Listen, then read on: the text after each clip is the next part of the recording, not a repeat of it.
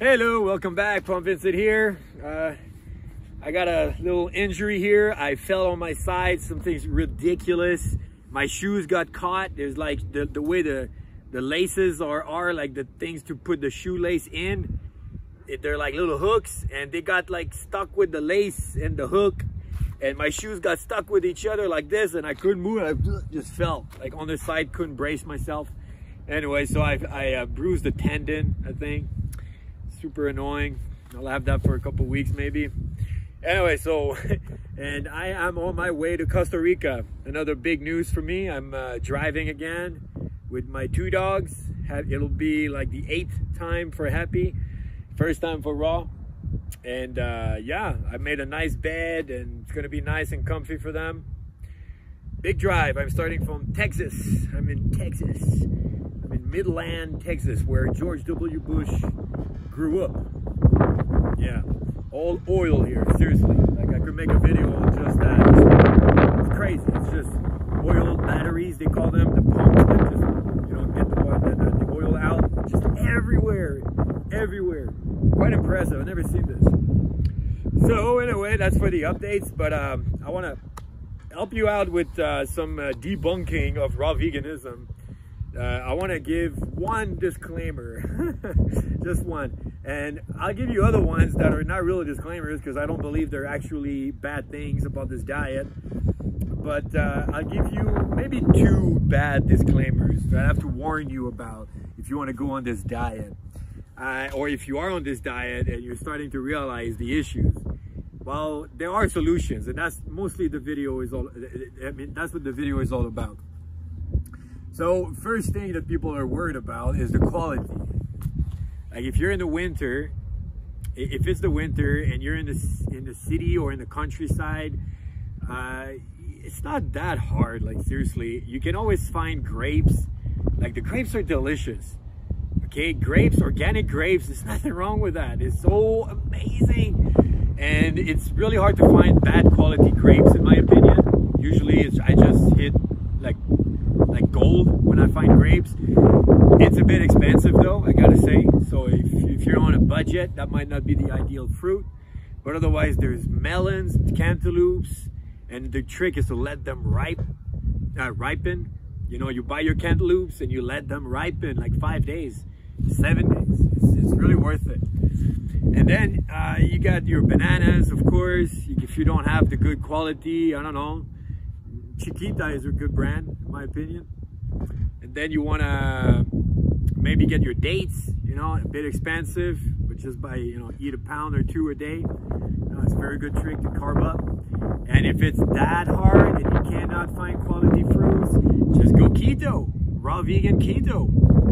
Eat fats, let salads and sprouts and, and like good quality nuts, you know, they're not the ones that are not like super boiled super cooked, roasted, whatever. So you get the good quality nuts and you'll be fine. It's just, it's fun diet actually. You make a lot of dips and you slice your carrots and just eat, you know, like it's amazing. It's fun. And uh, wait up, I got another dog coming. Happy, be cool. I'm in a dog park. and uh, here's here's the pooches. Wanna... Hey boys.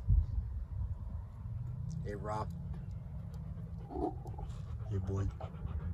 Anyway, a little bit of tension there. Anyway, all good. So anyway, back to the topic. So yeah, for quality wise, uh, if you can't get, you know, amazing quality fruits, you can always go keto. And another trick too is, I've said this in my other videos, uh, you can simply go to these whole food sellers, the ones that supply uh, the grocery stores, they're open like 10 p.m. until like 6 in the morning. Okay, those are tricky. It's a tricky thing. I have, I have a beautiful video about this. Uh, but yeah, that's the way to get good quality organic for dang cheap. It's gonna change everything. Get abundance. Anyway, another myth that people have uh, is that you have to poop all the time. I don't know if you heard about this. This might be news for you, but you're supposed to get a bowel movement for each meal. Yeah, each meal, like a like all animals, they eat, they have a bowel movement. And if you're raw vegan, well, guess what? It's going to be clean and it's going to be such smooth digestion. It's just a whole different experience. It's like really pleasurable. I like to go to the toilet and it's three times a day and it feels amazing and it's clean. I have to add that. It's very, very clean. You don't have that like gluten stuff inside you or like fermented stuff or just uh, just sticky stuff, you know, and then no mucus in this diet, you know, the mucusless diet. So that's a great myth, you know, great myth, but it's fine. Um, so another one, um, I would say this one is a bit true. I, I, I do empathize with uh, all the raw vegans out there who struggle socially. That is a massive one. Uh, there are ways to go around it. I made a lot of videos about that and I'll repeat it again and again. It doesn't have to be hard. All right the first thing I tell people is find empathy in people and in yourself. When people are trying to help you, you know, giving you advice or telling you what to do or telling you what you're doing is wrong and you know, suddenly as soon as you say you're doing health changes or food changes, you know, changing your habits for food, people all suddenly become a health expert, you know, and, and you know way better. and it's just, it can, it can become easily an argument, you know, unpleasant. So my argument is don't go into debates, just find empathy in yourself and, and you see that they're just trying to help. Okay, they're just, they, they, they care for you, you know, they want to, you know, they're, they're worried for you, you know, and if they're just being dicks who just want to be right and want to be righteous and, you know, like whatever, then uh, just, just, you know, just see them as a child, you know, he hasn't learned humility and open-mindedness yet. And uh, just a thing they haven't learned yet just like children, you know, we're all children. We've learned some stuff and we haven't learned others. And sometimes it appears, you know, it's pretty clear. Sometimes it's not. so see them as children or see that they're just trying to care. And then find empathy in them for yourself. And the way to do that is simply by kind of bullshitting your way around. You say, that your doctor asks you to do this because your health is really bad. Maybe it's true actually, but your doctor is always your body. I don't know if you've seen my other videos, but I, I, I do say that a lot. Your body is your doctor. It's your God. It's your higher self, you know?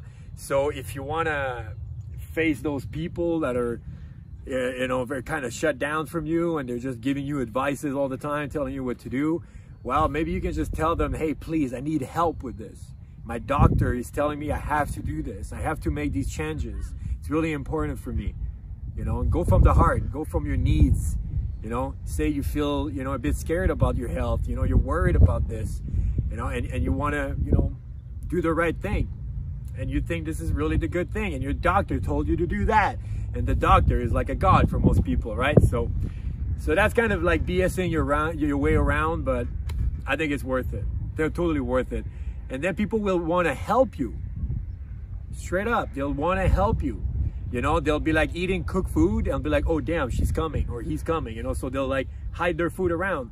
They won't be like inviting you to like restaurants, stuff like that. They'll understand when you walk away from the dining table, from the uh, dinner table, you know, when it's time to eat dinner. They, they'll understand that everything you're doing and that you need support. And that's something you can ask anyway so that's one thing i can advise you again and again with and it's just really really important one to grasp and to use it's like you can make it like a like a full-on exercise. You write down today i will be you know giving empathy or receiving empathy you know or trying to receive empathy. So anyway so that's one myth. Uh, that is not so much a myth. It's it's hard but it doesn't have to be hard and you can do you can always do like me hey you can move to a, a fully supportive environment a raw vegan eco village you know like me in costa rica or in canada or usa when i go work you know most people around me are either fully raw vegan or they're like they usually are like they, they've seen the light you know and they understand supportive environment. So they, they, they don't you know just don't care when you're around they try to be supportive. So i have that luxury. Very thankful mean, I, I, made my own luck, you can say. So I, am not really lucky. I made my own luck. So anyway, I, I, hope you create your own luck and maybe join a Fruitarian, you know, raw vegan eco village one day. And, uh, but uh, if you have a lot of attachment at home, then stay home and make make home a better place. This is always a good idea. But anyway, so that's that's for that's for me. so last thing I want to say, I guess because I can go on forever. There's so many myths that are not really true. Some are true, like the social pressure and all. Uh, the last one is my, my the one that really bothers me, the one thing that bothers me, is because there's not many things in the raw vegan diet that bothers me because I have the luxurious environment, the supportive environment, luxurious environment, and I mean, I don't have cravings anymore because I have good quality foods. I eat enough. I, I follow all the little tricks I've been giving you on YouTube. So what's my main reason, what, my main problem, you know, on this diet? Well, it might surprise you, but it's pissing all the time. I piss a lot. I mean, depending on what I eat. If I eat mostly bananas, you know, which I usually do, I eat 15 bananas a day, I try, 20, you know, and still I piss a lot. I eat a lot of grapes in the morning or cantaloupe or whatever melons. I like juicy fruits. It's really important to eat juicy fruits.